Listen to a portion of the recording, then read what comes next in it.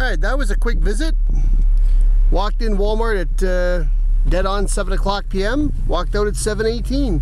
Just get a couple of things here, but um, yeah, not too bad. Look, it's the W. Oh, wait, uh, it's the W.